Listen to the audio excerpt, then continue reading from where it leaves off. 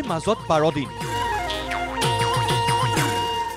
কিন্তু এইজনাৰ গাত আকৌ বিহু লাগিলেই। কেতিয়া আহিবা? ঐ নাচনী কেতিয়ানো আহিবা? এয়া কোনো বিহু নৃত্য কৰ্মশালাৰ দৃশ্য নহয়। এখেত ঢুলীয়াও নহয় নাচনীও নহয়। কিন্তু হোজাইৰ যমুনামুখৰ প্ৰবীণ ছাৰৰ গাত বিহু লাগিছে। নাচনী কেতিয়ানো আহিবা গা সাতখন আঠখন থৌ কিবা থৌ মন সেয়েহে কান্ধুলি মাৰি এম ই মাদ্ৰাছাৰ চৌহদতে প্ৰবীণ ছাৰৰ বিহু।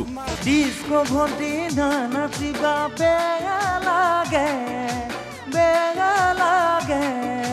তাকে কলো তুমি বেয়া পাদাই চাগে।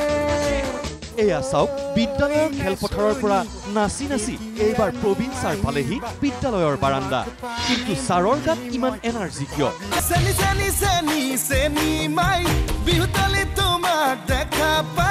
তেন্তে আচল কথাটো শুনক প্ৰবীণ ছাৰে পুৱাই অকণমান ধৰেই।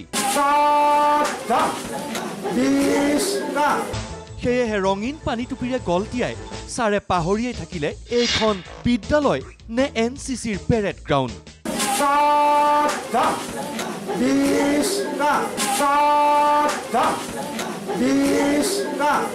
পিছে ছাৰে এটুপি ধৰিলেও পাহৰা নাই জাতীয় সংগীত। এনেখন সুফলা এনেখন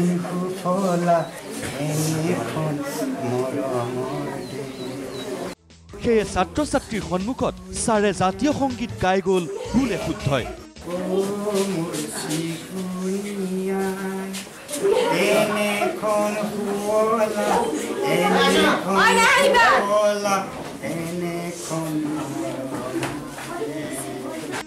ৰঙীন পানী টুপিৰ গোলাপী নিচাত প্ৰবীণ ছাৰে কিন্তু এৰি নিদিলে প্ৰধান শিক্ষককো।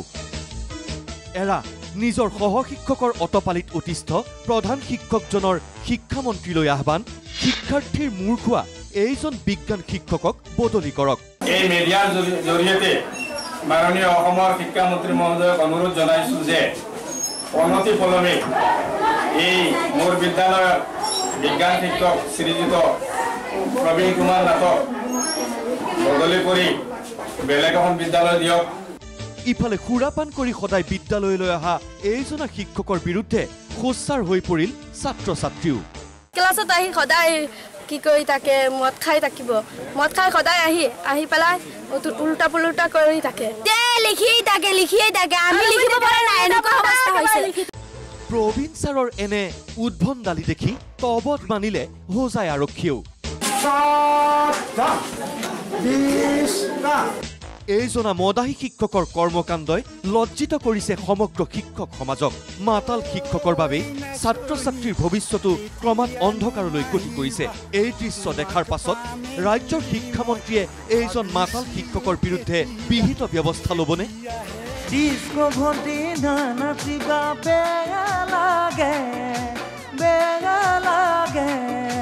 তাকে কলো তুমি বেয়া পাদাই চাগে।